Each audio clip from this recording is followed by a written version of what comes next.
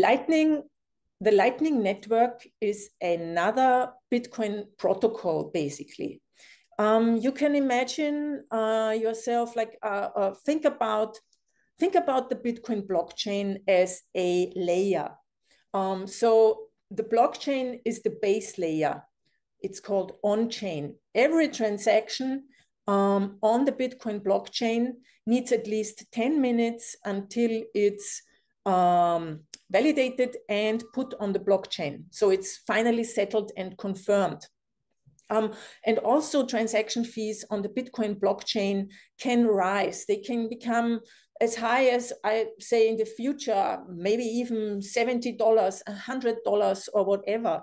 And even now, sometimes it doesn't really make sense um, for you to use the Bitcoin blockchain on chain because the fees are sometimes higher than the amount you want to send.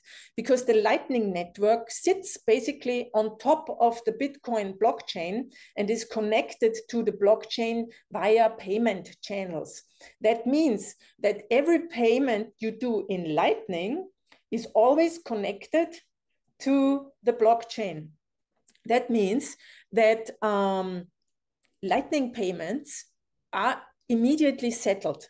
So you don't need to wait 10 minutes until you get a confirmation for it. Um, it's immediately basically in the custody of the other person that you sent the money to.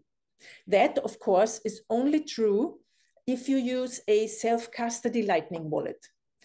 I know that many people are using the wallet of Satoshi, which works great, but it's a custodial wallet meaning that there is a company behind and they actually own the keys to your Bitcoin. It's a little bit comparable with exchanges like Binance, for instance, or Kraken or Coinbase, where you don't own your Bitcoin really. You have an account like in a bank.